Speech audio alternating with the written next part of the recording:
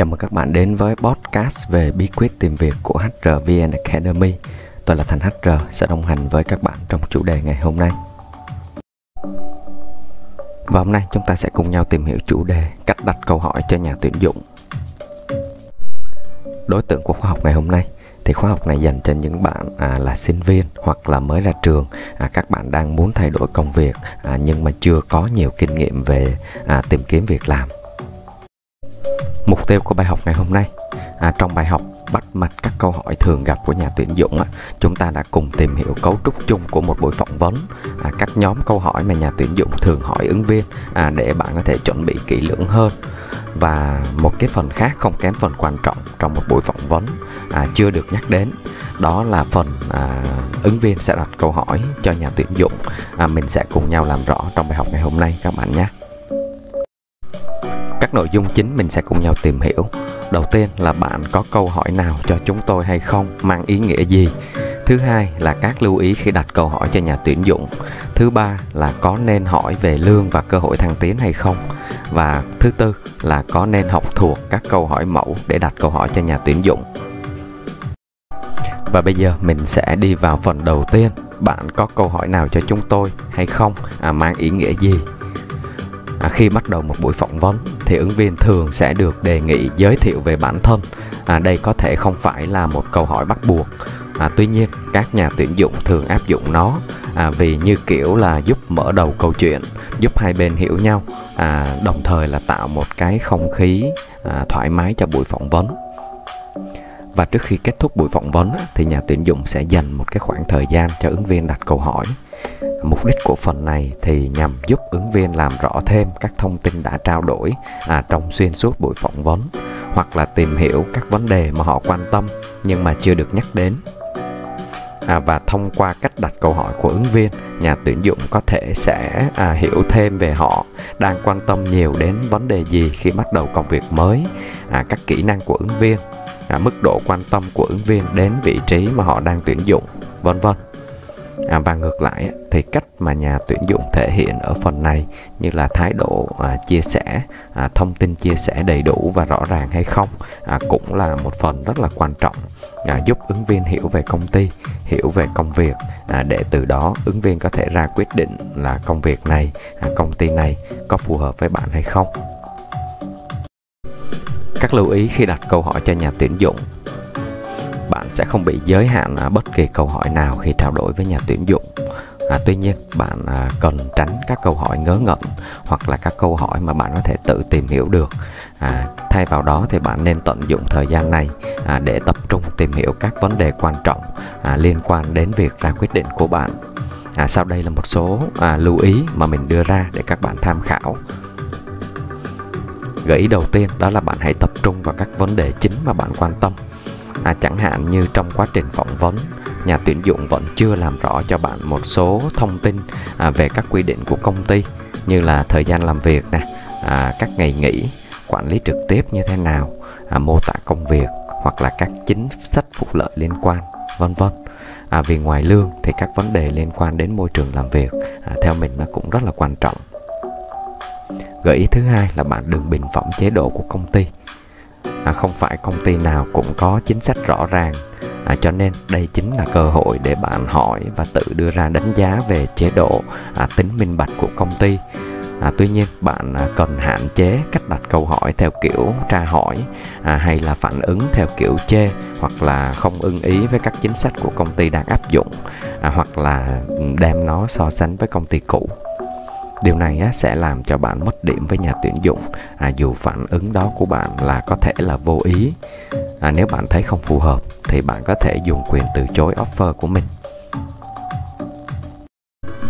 Tiếp theo là bạn hãy à, hỏi về quy trình phản hồi kết quả phỏng vấn. À, thông thường á, thì các nhà tuyển dụng sẽ chủ động nói về điều này với ứng viên. À, tuy nhiên vẫn có những trường hợp là nhà tuyển dụng không nhắc đến thì bạn nên chủ động hỏi phần này. À, để đảm bảo có thể sắp xếp được thời gian nhận việc hoặc là sắp xếp lịch phỏng vấn với những công ty khác. À, một gợi ý cuối cùng là đừng trả lời không khi được đề nghị đặt câu hỏi ở phần này. À, có thể bạn được phỏng vấn với một nhà tuyển dụng rất là chuyên nghiệp và hầu hết tất cả những vấn đề thì đều đã được làm rõ. À, tuy nhiên à, ít hay nhiều thì cũng sẽ có phần mà bạn à, có thể khai thác thêm à, nên đòi hỏi bạn cần thực sự tập trung trong từng chi tiết của buổi phỏng vấn thì bạn mới có thể đưa ra được những câu hỏi hay hoặc là câu hỏi nó thực tế ở phần này. À, điều này đồng nghĩa với việc là bạn đừng đặt câu hỏi cho có à, theo kiểu là mình đã tham khảo các câu hỏi mẫu à, ở trên internet các bạn nhé. Con nên hỏi về lương và các cơ hội thăng tiến? À, nhiều bạn ứng viên hoặc là nhiều nhà tuyển dụng thường xem đây là câu hỏi nhạy cảm nên thường né tránh. À, tuy nhiên theo mình đây là hai câu hỏi à, nên được đề cập trong buổi phỏng vấn. À, quan trọng là hỏi đúng thời điểm hay không. À, trên một số thông tin tuyển dụng à, khi mà nhà tuyển dụng tuyển một vị trí nào đó thì công ty sẽ thường à, đăng một cái thu nhập à, ví dụ như nó nằm trong một khoảng à, chẳng hạn là từ 10 đến 15 15 đến 20 triệu một tháng chẳng hạn à, hoặc là có vị trí thì cũng chỉ để là mức lương thỏa thuận. À, cho nên nếu mà công ty có chế độ minh bạch rõ ràng á, thì họ rất là sẵn sàng để chia sẻ với ứng viên trong vòng phỏng vấn đầu tiên hoặc là vòng phỏng vấn thứ hai. Cho nên nếu mà bạn chưa nhận được thông tin đầy đủ về mức lương trong lần phỏng vấn thứ hai thì bạn hãy chủ động hỏi về điều này. À, vì cơ bản à, mức thu nhập phù hợp thì mới có thể nói chuyện tiếp được à, chứ không thể qua loa hay là nhập nhằng việc này à, ngay cả việc bạn là sinh viên mới ra trường và bạn cũng xác định rõ là đi làm để lấy kinh nghiệm à, không đặt nặng quá về vấn đề thu nhập. Nhưng theo mình thì bạn cũng cần phải hỏi à, để được rõ ràng ngay từ đầu. À, chứ không phải là à, mình hỏi để thương lượng thêm bớt hay là gì đó cho nên là bạn không có cần ngại khi đặt câu hỏi về vấn đề này. À, nếu nhà tuyển dụng có vẻ mập mờ khó chịu khi bạn hỏi về việc à, về thu nhập á, thì bạn cũng hãy cân nhắc lại là có nên làm việc cho công ty đó hay không. À, nhưng mà như mình đã nói à, quan trọng là thời điểm mà mình mình đặt đặt câu hỏi này các bạn nhé. À, sau khi mình đã tìm hiểu về công việc về môi trường vân vân thì việc đặt câu hỏi về lương không có là gì à, không có gì là sai cả các bạn ạ. À, đồng thời như bạn cũng rất là quan tâm đến cơ hội thăng tiến thì theo mình bạn cũng có thể chủ động hỏi. À, vì đa số các công ty đều có xây dựng một cái lộ trình nghề nghiệp cho nhân viên. À, nó thể hiện là à, điều này nó giúp bạn thể hiện là bạn đang có một cái sự quan tâm rất là nghiêm túc với vị trí này. À, và công ty đang đồng thời là công ty bạn đang phỏng vấn à, đây cũng là một phần mà đa số công ty à, đều sâu ra để thu hút ứng viên. À, có thể là trong buổi phỏng vấn họ chỉ nói sơ lược qua thôi nhưng mà sau đó sẽ được làm rõ lại trong à, buổi hội nhập nhân viên mới chẳng hạn. Có nên học thuộc các câu hỏi mẫu để đặt câu hỏi cho nhà tuyển dụng? À, theo mình á, thì không có câu hỏi mẫu nào có thể đúng hoàn toàn cho bạn à, và có thể à, nó sẽ làm cho bạn bị đóng khung trong những cái gợi ý mà mình đã à, tìm hiểu trước đó. Hoặc là bạn sẽ bị bối rối khi mà nhà tuyển dụng à, đề nghị đặt câu hỏi ở phần này. À, bạn chỉ nên đọc qua các câu hỏi mẫu à, và xem nó ở mức tham khảo à, để nắm được các vấn đề liên quan mà mình có thể à, đặt câu hỏi với nhà tuyển dụng trong phần này mà thôi à, bạn nhớ là hãy đặt câu hỏi đúng thực tế đúng với tình huống mà bạn đi phỏng vấn. À, tận à, tận dụng để làm rõ các vấn đề mà bạn đang quan tâm hoặc là nhà tuyển dụng à, chưa có nhắc đến với bạn. À, cho nên quan trọng nhất ở phần à, cách đặt câu hỏi cho nhà tuyển dụng này á à, đó là thời điểm bạn đặt câu hỏi và thái độ bạn đặt câu hỏi à, để làm sao thể hiện được sự quan tâm thực sự với công việc đang phỏng vấn. À, nếu mà áp dụng đúng thì đây cũng sẽ là một điểm cộng cho bạn trong mắt nhà tuyển dụng. À, nếu nhà tuyển dụng quên phần này à, thì bạn cũng có quyền chủ động đề nghị là mình được à, đặt một vài câu hỏi với họ. À, hãy đảm bảo là sau buổi phỏng vấn á, thì bạn đã à, nắm được nhiều thông tin mà bạn cần. À, có phù hợp với định hướng của bạn hay không? Để bạn còn à, sau đó mình còn cân nhắc là quyết định là có nhận à, offer ở vị trí công việc này hay không.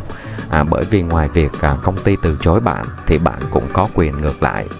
À, chứ mà mình thấy là nếu mà à, sau 1 đến 2 buổi phỏng vấn rồi mà mình vẫn còn hơi mù mờ về công việc à, về chính sách à, phúc lợi của công ty vân vân thì à, cả bạn và nhà tuyển dụng à, đang làm mất thời gian của nhau. Và theo mình thì sẽ có à, sẽ khó có một cái cái kết tốt đẹp à, dù sau đó quyết định có hợp tác hay không thì trên đây là một số nội dung chính mà mình đã cùng nhau tìm hiểu về chủ đề à, cách đặt câu hỏi cho nhà tuyển dụng. Mặc dù đã cố gắng kiểm tra kỹ nội dung cung cấp à, tuy nhiên vẫn có thể có những sai sót nhỏ ngoài mong muốn. À, bạn có thể để lại phản hồi à, hoặc là câu hỏi vào phần comment bên dưới à, để mình ghi nhận và có thể giải đáp lại cho các bạn trong thời gian sớm nhất nếu bạn yêu thích bài học ngày hôm nay, đừng quên like để lan tỏa thông tin đến những người cần nó, cũng như đăng ký kênh để ủng hộ mình. À, tôi là Thành HR, đến từ HRVN Academy, khóa học nhân sự dành cho người mới. Xin chào và hẹn gặp lại các bạn vào chủ đề podcast tiếp theo.